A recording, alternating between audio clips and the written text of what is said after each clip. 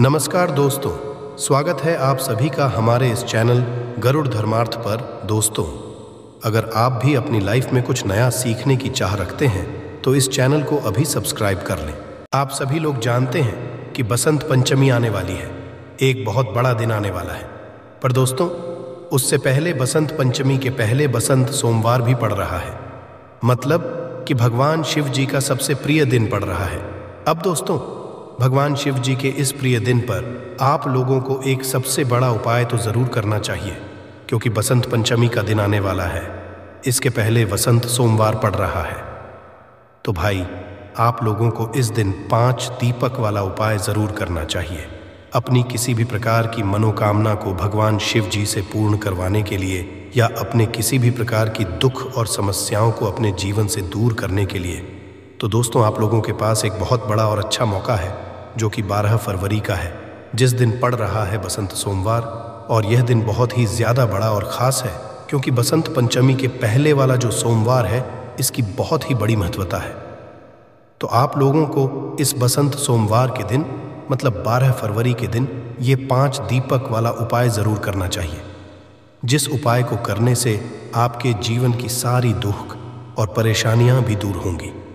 यदि यदि आप अपनी मनोकामना के लिए ये वाला उपाय करेंगे तो वह आपकी मनोकामना भी पूर्ण होगी। साथ ही में अपने घर परिवार की सुख और शांति के लिए ये वाला उपाय करेंगे तो वो भी आप लोगों को ज़रूर हो जाएगी। तो दोस्तों, इस उपाय को सबसे पहली बात आप लोगों को अच्छे से समझना है। क्योंकि भाई, ऐसे खास दिन बार बार तो आते नहीं। बसंत पंचमी के पहले पड़ने वाला, बसंत सोमवार से बार बार तो आता नहीं। तो इसलिए आप लोग इस उपाय को अच्छे से समझ लेना, उसके पश्चात ज़रूर करना। तो दोस्तों, सीधी सी बात है, पाँच दीपक वाला उपाय है तो ही पाँच दीपक वाले उपाय को करने में हमें थोड़ी बातें भी समझनी होंगी, जैसे कि ये पाँच दीपक हमें कैसे बनाने हैं। दीपक उपाय किसको करना है, किस समय करना है? जो दीपक है, वो मिट्टी के होंगे, आटे के होंगे, ऐसी बहुत सारी चीज़ें हैं, जो कि हमें उपाय में समझने वाली हैं। ठीक है? तो इसीलिए आप लोग इस उपाय को अच्छे से समझें और ज़रूर करें, ताकि आप लोगों की जो भी मनोकामना हो, वो ज़रूर पूर्ण हो। तो सबसे पहली बात दोस्तों, हम आपको ये बताते हैं कि ये वाला उपाय किसको करना है। तो सबसे पहली बात दोस्तों, घर की जो माताएँ बहनें होती हैं, वही इस उपाय को खास रूप से करें। क्योंकि घर की जो बहनें होती हैं, वो कौन होती है? घर की लक्ष्मी होती है। यदि किसी कारणवश घर में माताएँ बहनें उपस्थित ना हो तो भाई घर की घर के जो बड़े सदस्य हो भाई, वह भी इस उपाय को कर सकते हैं। यदि माताएँ बहनें उपस्थित ना हो तो दोस्तों, अब हम समझते हैं कि इस उपाय को आपको किस समय करना है। तो देखिए, दीपक वाला जो भी उपाय होते हैं, या दीपक वाले जितने भी उपाय होते हैं, वह हमेशा शाम के समय प्रदोष काल में या रात के समय किए जाते हैं। तो यह वाला जो पाँच दीपक वाला उपाय है यह भी आपको बसंत सोमवार के दिन मतलब 12 फरवरी के दिन, शाम के समय प्रदोष काल में ही करना है।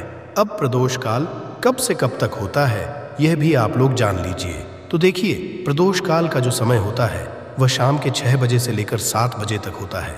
मतलब शाम के छह बजे से लेकर सात बजे के बीच में आप लोग ये वाला उपाय कर सकते हो। पर किसी कारणवश, यदि आप लोग लेट हो जाते हो तो भाई आप इस उपाय को सात के पश्चात सात तीस या आठ बजे तक भी कर सकते हो। मतलब आठ बजे तक भी कर सकते हो। आठ बजे के पश्चात मत करना। वो फिर ज़्यादा देर हो जाती है। तो वह आप लोगों को इस बात का ध्यान रखना है कि शाम के समय प्रदोष काल में आप लोगों को ये वाला उपाय करना है या सात तीस बजे तक भी आप लोग इस उपाय को पूरा कर सकते हो। है तो दोस्तों, अब यहाँ पर आपको ये बात समझ आ गई। अब बात करते हैं हम इस उपाय की। तो दोस्तों पाँच दीपक वाला उपाय है। तो सीधी सी बात है कि पाँच दीपक वाला उपाय है तो पाँच पा दीपक। तो यहाँ पर हमें तैयार करने ही पड़ेंगे। अब ये पाँच दीपक हमें कैसे तैयार करने हैं? उसमें सबसे बड़ा प्रश्न अब यही निकल कर आएगा कि भाई, पाँच दीपक जो हम तैयार कर रहे हैं, वो किस चीज़ के होंगे? क्या वो पाँच दीपक आटे के होंगे? क्या वो पाँच दीपक मिट्टी के होंगे? तो दोस्तों, हम आपको यहाँ पर बता दें, वो जो पाँच दीपक, आप लोग लोग, वो आप लोग आटे के लोगे उसका क्या कारण कि दोस्तों, यदि आप लोग मिट्टी के दीपक लेते हो तो आपको नए दीपक लेने पड़ेंगे। पुराने दीपक नहीं ले सकते, है ना? और नए दीपक सभी लोगों के पास उपस्थित नहीं हो सकते। तो इससे सबसे अच्छी बात यही है कि हम जो पाँच दीपक ले रहे हैं, वो आटे के लिए है। ना? अब आटे के भी जो आप दीपक बनाओगे ना, उसमें ये बात ध्यान रखना कि जो आटा आप लोग इन पाँच दीपक के लिए लोगे उस आटे को घंटे समय या उस आटे के अंदर कुछ भी मत मात्र साधा आटा लेना। उसमें पानी मिलाकर उसको गूंद लेना। है ना गूंदने के पश्चात? आटा गूंदने के पश्चात आपको क्या करना है कि जो दीपक आप बनाओगे, वो पाँच दीपक बनाओगे। और कैसे बनाओगे? मीडियम साइज़ के दीपक बनाओगे, है ना? ज़्यादा छोटे बनाओगे ना ज़्यादा बड़े बनाओगे, है ना? तो इस प्रकार से आपको उस आटे से पाँच दीपक बढ़िया आपने तैयार कर लेने हैं। पाँच दीपक जैसे ही आप लोग तैयार कर लेते हो तो इन पाँच दीपक आपको कहाँ पर रखना है? इन पाँच दीपों को आप अपनी किसी भी एक प्लेट या पूजन वाली थाली में आप लोगों को रखना है। है ना? जैसे ही आपके पाँच दीपक तैयार हो जाए, वैसे ही आप लोगों को एक एक करके पाँचों दीपक अपनी किसी भी प्लेट या थाली में रख लेने हैं। क्योंकि आप 500 दीपक को एक साथ हाथ में पकड़कर तो कहीं लेकर नहीं जा सकते। हैं ना? तो इसलिए भाई, आप लोग कोई भी पूजन की थाली लेना या अलग से कोई थाली लेना या कटोरी ले लेना, जिसमें आप ये पाँचों दीपक बन जाए, हैं ना? तो वहाँ पाँचों दीपक अपनी उस पूजन वाली थाली में जमा कर अच्छे से रख लेना। अब पाँच आटे की दीपक तो हमने तैयार कर ली है। अब इसमें बात ही मतलब बात आती है कि इसमें हम बात ही कौन सी रखेंगे? तो ये बात आप लोग पहले से ही जानते हो।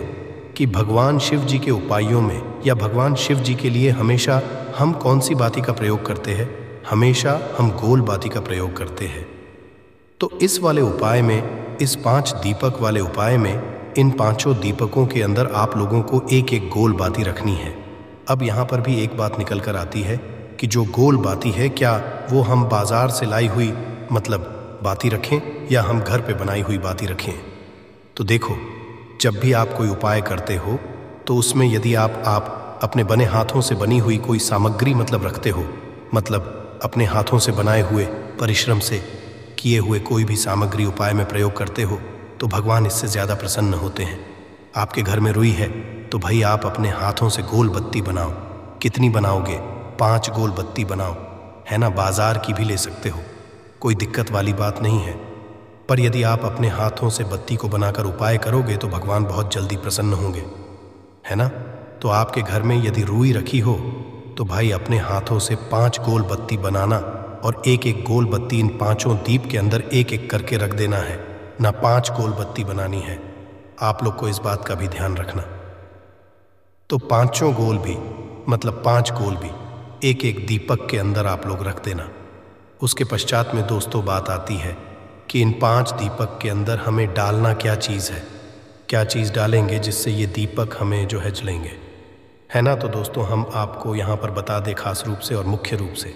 आप लोगों को इन पाँचों दीपकों के अंदर गोल बाती तो आपने रख ही ली है, पर इसके अंदर जो आप चीज़ डालोगे, वो डालोगे शुद्ध देसी गाय का घी, है ना? क्योंकि शुद्ध देसी गाय का जो घी होता है, वो भगवान शिव जी को बहुत प्रिय होता है, और इसी से भगवान शिव जी के लिए हम दीपक यहाँ पर जलाते हैं। तो आप लोगों को जो है शुद्ध देसी गाय का घी लाना है। हम शुद्ध देसी गाय का घी क्यों बोल रहे हैं? क्योंकि कई सारे लोग ये समझेंगे कि भाई घी बोला है तो भाई वो बाज़ार वाला मिलावटी जो ही होता है, वो उपाय में प्रयोग कर लेंगे। यदि आप लोग बाज़ार वाला मिलावटी ही प्रयोग में ले लोगे तो भाई उपाय फिर सही तरीके से काम नहीं करेगा। इसलिए हम हमेशा कहते हैं, भाई आप लोग जो भी उपाय कर रहे हो, उस उपाय को करते समय हमेशा शुद्ध देशिका का घी अपने पास में रखो। इसलिए हमने पहले भी कहा है कि भाई शुद्ध देशी गाय का जो घी है, वो आप लोग थोड़ा सा अपने घर में ज़रूर रखा करो, ताकि कभी भी आपको एकदम से काम पड़ जाए। भगवान के कार्य में या भगवान के उपायों को करने में तो भी आप उस शुद्ध देशिका के घी को ले सको। क्योंकि यदि आप लोग बाज़ार वाला मिलावटी घी लोगे भाई, आपका वो उपाय सही तरीके से काम ही नहीं करेगा। तो इसीलिए शुद्ध देसी गाय का घी आपके घर में हमेशा होना चाहिए। कहीं से ढूंढ कर लाओ, कैसे भी लाओ। पर थोड़ा सा अपने घर में हमेशा रखा करो, क्योंकि वही आपकी बरकत भी बनाकर रखता है। तो भाई थोड़ा सा शुद्ध देसी गाय का घी, इन पाँचों दीप के अंदर आपको डाल लेना है, न पाँचों दीपकों के अंदर। शुद्ध देसी गाय का घी डालने के पश्चात, अब आपके ये पाँचों दीपक बिल्कुल बनकर तैयार हो जाते हैं। है ना? तो दोस्तों, आप लोगों को क्या करना है कि शाम के समय, ये वाला जो आटे के पाँच दीपक है ये आपको कुछ समय पहले ही तैयार कर लेने, क्योंकि इनको तैयार करने में और उपाय की तैयारी को करने में आपको समय लगेगा। तो इस बात का भी आप लोगों को ध्यान रखना है।